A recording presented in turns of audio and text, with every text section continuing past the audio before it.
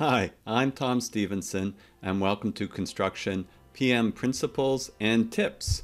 Today we're going to be discussing pull plans. In particular, I'm going to be looking at phase pull plans, which is part of the last planner system. There's a lot of misconceptions about what a pull plan is, but you're seeing it a lot more uh, being implemented by mid to large size construction companies and smaller companies as well, as the word gets out that this is a very effective way of planning, scheduling, and managing your construction projects. So in this session, as I said, we'll just focus in on this area of phase pull plans. I'm a professor of construction management. If this is new to you, this station or channel, uh, please take a look. Look at the playlist, uh, click subscribe. Uh, this channel is all about the construction industry, uh, principles, and practices. So there's a lot of different playlists. You'll find everything from learning how to use Microsoft Project to construction business management, site management, project management, tools and mental models that you can use to improve yourself in the construction industry. All right, so let's get started. So the last planner system is part of lean construction.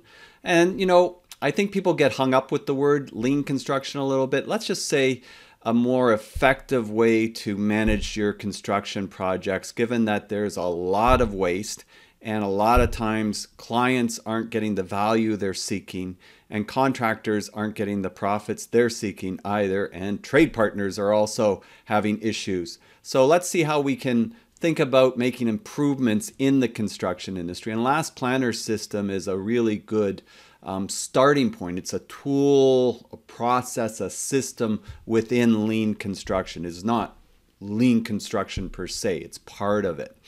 All right. And so we have our master schedule. And this is just going to be a quick overview because we're going to look more at the phase pull plan. But you have your master schedule. Uh, you have your phase schedule, which is where we often call this a pull plan. And I'm using the terms that they've used, but technically, a phase plan or a milestone schedule, typically, when we get into one milestone at a time, we call it a pull plan. And the difference between plan and schedule is a schedule has dates, whereas a plan really has sequences and durations. So it's a uh, you haven't put committed to exact dates yet. And that's true with all uh, project management terminology. We separate uh, schedules by having dates. Then there's what we call a make ready um, plan, which is basically now our six week look ahead schedule, much more detailed. Weekly, what's coming up each week. And daily huddles are daily learning and feedback mechanisms so that we can quickly iterate, adjust, pivot as we need to. Um, so I, you know, this usually throws everybody like there's so many levels. This is just too much. It's actually not too much. It's actually a very good process that gets you in the zone and understands very clearly that the further you are away from doing work, the less likely your accuracy on exact durations and, and exactly how something's going to happen are. As you get closer to the work, that tightens up. That tightens up. And the further you are away from the work and the less that you've communicated to others, also the less likely it is to be accurate. So we try to build a system that makes it easy for communication to take place and the tapping of that knowledge. And really, if we want to think about it, we want to build confidence, as uh, Albert Bandura would say. We want to have self efficacy, confidence in what we do, right? And that's important. And so, what we want to do is build that confidence. We want to build that network and get strong commitments from the people that are involved doing the work. If you don't get commitments from people, then it's not likely that it's going to happen. And if they've been involved in the process, it's much easier for them to commit to it. Uh, and as we get really close, we're trying to work out any potential constraints or issues that can roadblock us, that can bottleneck us, that can prevent us from uh, moving forward as we planned. And so the weekly work planning is really sort of getting into that detail. And then, as I said, the daily huddles what have we learned and how can we improve upon this? So we're really going from we should be able to do this, right? At this stage, you know, this is this what we're doing this master schedule for is to actually identify that we can get this overall project done in this start date and this finish date. So we do have to pull on historical data and a whole bunch of other things that we'll talk about. But we want to understand that we can get this done without being so granular and detailed that it kind of is nonsensical, like there's just too much detail in it. Uh, we want to be able to identify effectively a series of milestones that then we can work more closely with as the work comes more close, right? And that's where we move into where we should be able to do this. We want to basically understand that we can do this. And from there, we're going to go to our make ready. And we're pulling from this basically the first part of this is going to tell us what we need to do in the make ready. And so we're going from should to can to will weekly. Well, that's again the first week of the sixth week, and we're more sure as it comes up because it's next week. We're more confident we can do something that we've set up for next week and we've adjusted as we get closer. And if we've seen something that can't be done, we've rearranged it so we're pretty confident that we can get that done next week. That's why will and then did right? So now we're just confirming that we're able to do that. And if we weren't, we're really trying to pivot on that and learn from that. So that's kind of, you know, the quick three minute version of Last Planner. But as I said, I want to get into the master and the, the actual uh, pull plan aspect of where this comes from. So it's the long term approach. Um, it should include all the major phases of the work there shouldn't be gaps of things that are missed because then that means that our schedule is probably not going to be realistic if you've got a whole section of work um, missing. It should encompass the work that we need to do without being so granular that you have 10,000 activities for it. Uh, so that's that's important. But we really want to also identify milestones, as you'll see in the next um, slide. Uh, so it really needs to um, be encompassing not so detailed like a make ready plan will be.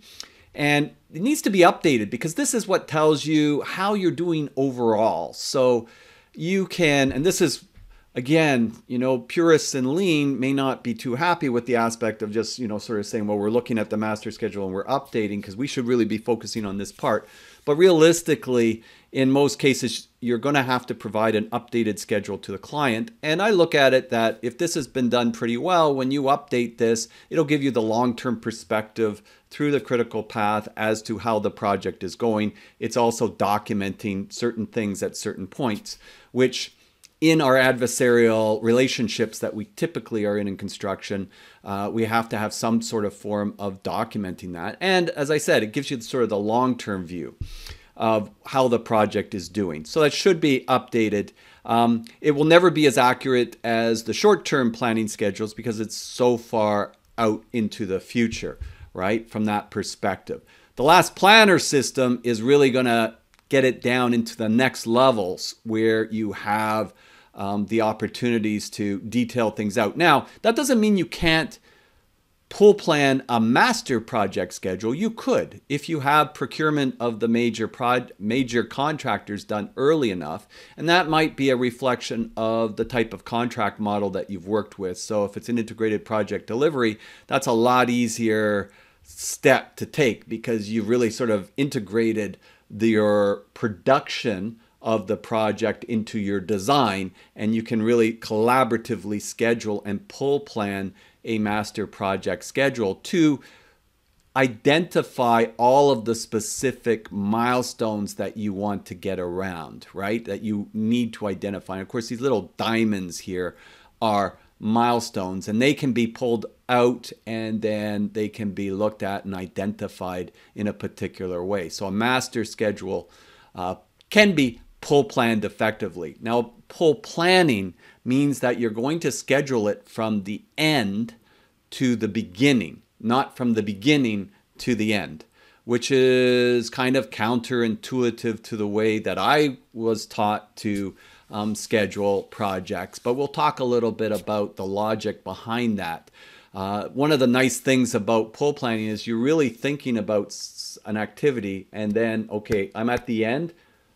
What do I need next step before the end? In other words, what is the thing that has to be completed before I can complete the project? And then you just keep working backwards from that aspect to really establish the sequencing and durations of the work.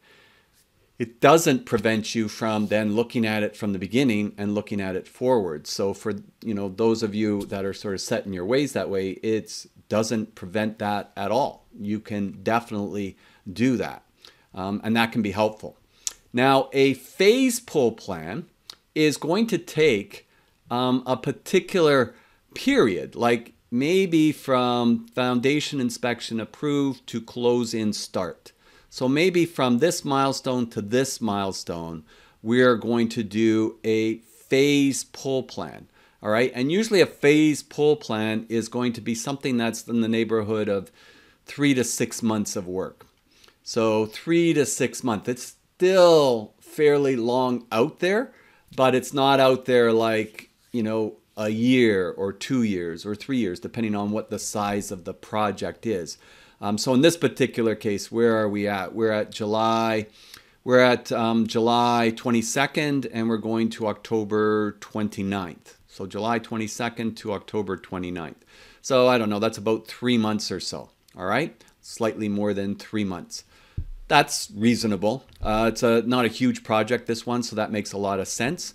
And so basically with that, we're going to look at creating that and working from that period to the other period, which is milestone to milestone. We have other milestones in between, right? So if I go back here, there's, you know, slab on grade, framing complete, inspections approved, right?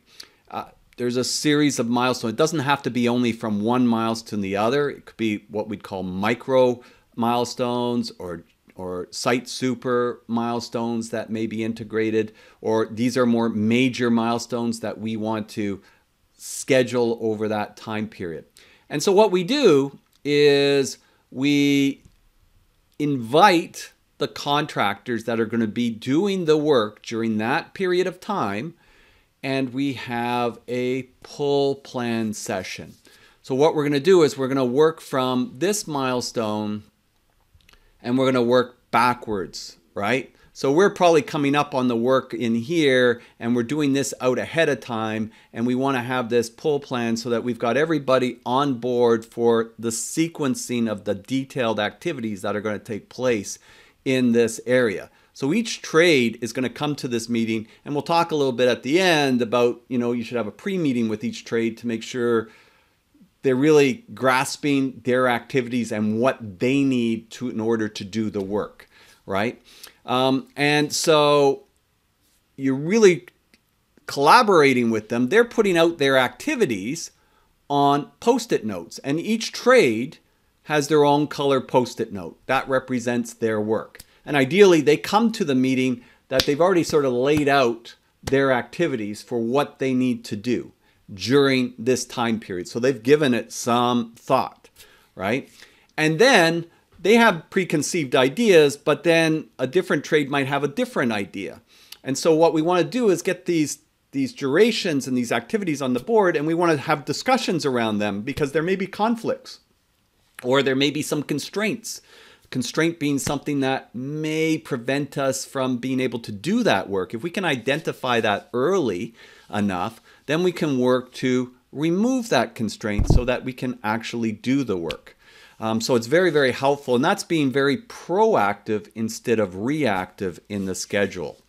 Um, so the schedules develop backwards, going from the finish milestone back this way right? And discussions are taking place during that process of order, right? So by working backwards, um, each trade is determining what do I need in order for me to start? You know, like if it's the roofing trade, I need to have the decking on the roof or I cannot do my work, right? Um, if it's the structural steel trade, maybe it's I need to have the foundation walls in with all of the anchor bolts in the correct places before I can start. What is it that each trade needs before they can start? And we call that conditions of satisfaction. What do you need? And to what level of quality do you need it at so you can effectively do the work? So you can see there's a lot of opportunity for cross communication to take place trade to trade, which in traditional methods doesn't happen that often. Now, I'm gonna I'm gonna qualify that. There are, you know, again, I I really want to get these processes out there without offending anybody. Um, you know, and there's different approaches. You know, you can say, oh, you've been doing it wrong for this many many years, and, da, da, da, and that just gets people's back up, and they get you know resistant to to changing. On the other hand, there are a lot of site supers and project managers that have worked for many years. If you ask them what is lean, they don't even know, but yet they've come across a series of practices and principles that they developed that in a lot of ways closely proximate a lot of lean practices. And those are the ones that typically are pretty successful. And they, they sort of think, well, I'm just using traditional methods. But there's a lot of things that aren't so traditional that they are actually using and they just don't know it. Um, so I think there are a number of those practitioners out there that are successful. But I do also think that there's a lot that we've got room to improve. You know, I had to change my ways of doing things over the last 10, 15 years as well, because I could see that there's these other opportunities and methodologies that make things go better. Is it easy? No. Does it take time? Yes. Uh, but nothing worthwhile ever was easy and fast, right? So um, I think from that perspective, the investment is well worth it.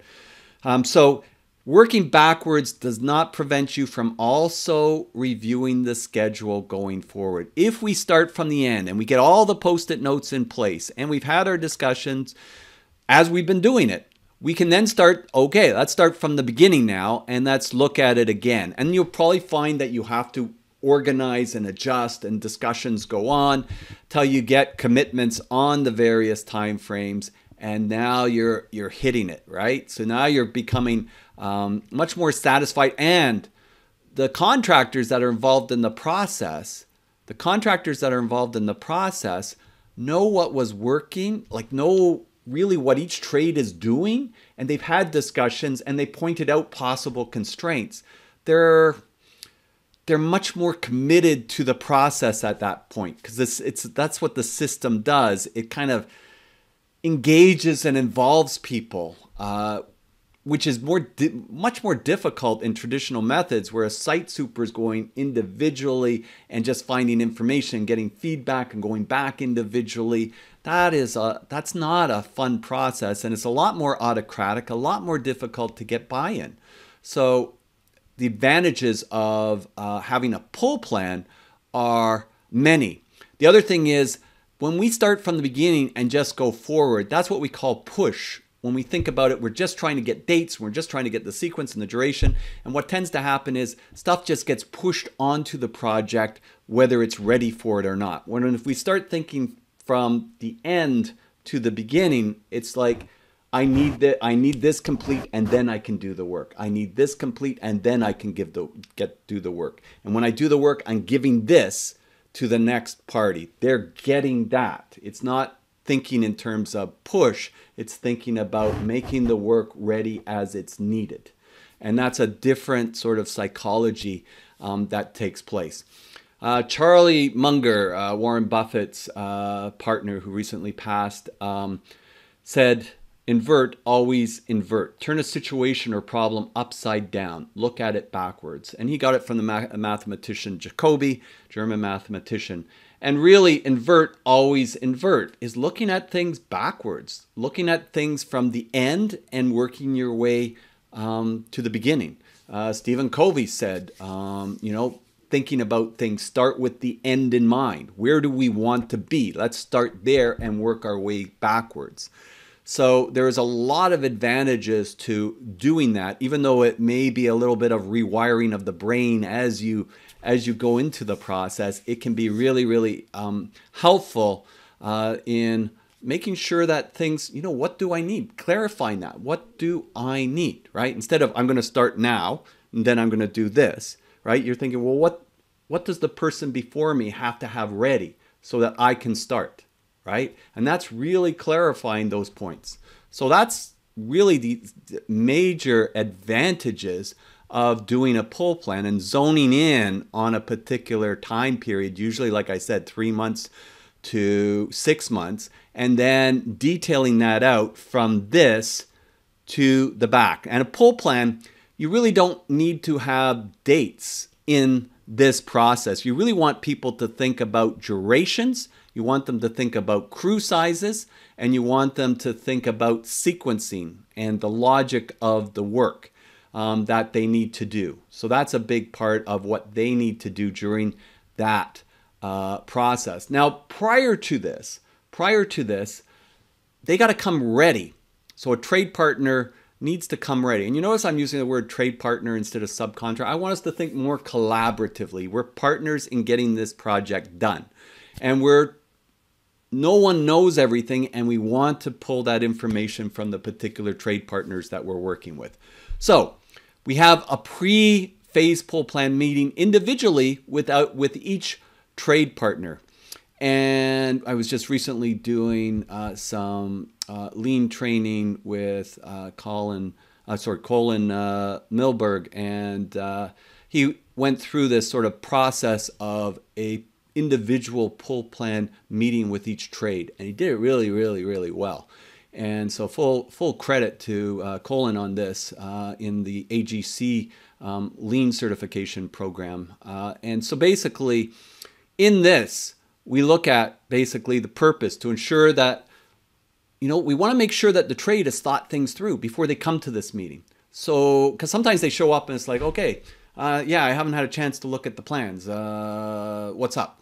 Right? No, this is where we want to get them discussing, thinking, and making sure that we're not going to be in reactive mode in the meeting because they'll kind of slow us down and make it more difficult. So we're trying to get that meeting out.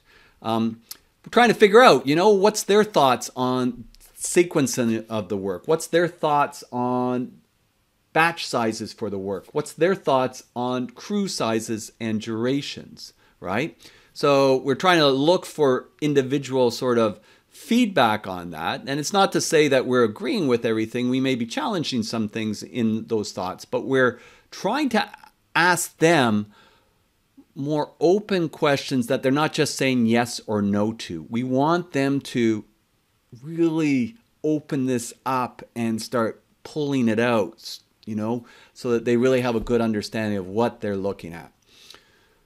So, what crew size, and that's important because that's going to sort of govern, that's definitely going to be governing what they're able to do, right? And at what kind of velocity they're able to do it at.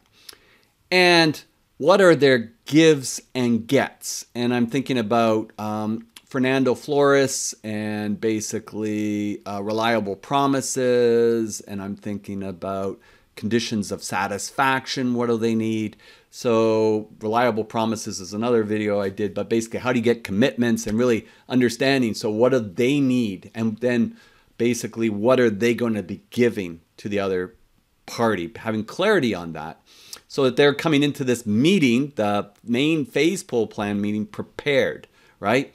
And what are their strengths? What are their weaknesses? What kind of opportunities or threats? That'd be your constraints, trying to get them thinking about possible things that could throw a hiccup into this process. What are the things that are keeping them up at night that are bothering them about this project? These are things that you want to pull during this um, pre phase pull plan meeting, getting them really sort of on this. And do we have clarity or do we need a follow up? I put 2080 there. That's another lean tool, uh, basically uh, the Pareto principle. Look, you're going to have some trade partners that you're going to have meetings with this, and it's going to be actually a pretty fun process. They've been through it before, they, they're experienced at it, uh, they're eager. Uh, and then you're going to have some that it's going to be like pulling teeth. And you know what? Whether you're doing this or you're running a regular project, those same ones are going to be whether it's pulling teeth. So that doesn't change. But you really want to identify the ones that it's like pulling teeth because you're going to have to spend more time with them. That's the 2080, right? Uh, and so 20% of your trades is going to take 80% of your time, so to speak. It might be just that they're new and they just need a little bit more um, explanation, a little bit more um, hand holding in the beginning, but they're eager. That's different than they're resistant, right? Uh, so, but you under, you'll understand and you'll identify that and you'll get a good idea going into the actual pull plan meeting who they may be so that that makes it a little bit easier ahead of time. You can be more proactive on that, right? And making sure that they take the time, you know, you can probably get a lot of it done in the pre-phase pull plan meeting, but that they take the time to have their activities pre-marked out on post-it notes. So you want them to have their activities pre-marked out on post-it notes and those post-it notes will have essentially what the gives are, what the gets are, what the crew size is, and what the duration is. So each post-it note, what is the activity? What am I going to give? What do I need to have done? Sometimes for the gets, you might need one, you might need two or three that have to be done before you can start, right? What crew size am I planning? And duration. Understanding crew size is important too in the pull planning ses session because that'll give you an idea of geographic space and what you need to do in that. And the pull planning session, it can be done in, depending what you're doing, into swim lanes. Swim lanes basically means, you know, you got first floor, you got second floor, you got third floor. These are swim lanes, so you can show the flow from one floor to the next from the different trades that are doing the work. So there's a lot of things that can be discussed and set up through this pull plan um, meeting. And really, as, as uh, Colin was mentioning, don't don't ask yes or no questions. Really, really try to get them to um, critically think about what they need to do. Right? Are you going to be ready? Yes. Um, do you have enough people? Yes. Um, do you have your figure your durations figured out? Yes. Um, do you have any problems on the project? No. That doesn't tell you anything, right? So you got to really get them to give details. And so it's how you learn to ask questions more effectively uh, that um, is important. And you don't want to get into a situation where you're telling them. You want basically them to think about it and to give you their thoughts on how they would like to uh, run their aspect of the project. And then you can challenge those things with further questions, right? It's not that you're just saying, oh, okay, that's fine. Oh, that's okay. Uh, you got to be going deeper and deeper and deeper to really understand and get them thinking. If they've thought everything out well, and you're able to then coordinate that effectively and make the adjustments necessary during the actual pull plan session, you're well along the way for then the next phase of work, which is developing your make ready schedules, which I'll do in another video. So I hope that's given you a, the first part, an understanding of the pull planning process and how we work from a finished milestone back with the activities, putting them pre-done. We have this pre-phase pull plan meeting so that the actual trades come to the project prepared. So I'm, I hope uh, this has given you some insight. Uh, if you enjoyed this video, please uh, leave a comment and help build the community by subscribing uh, to the channel. Uh, I'm Tom Stephenson wishing you a wonderful day and we'll see you next time. Bye for now.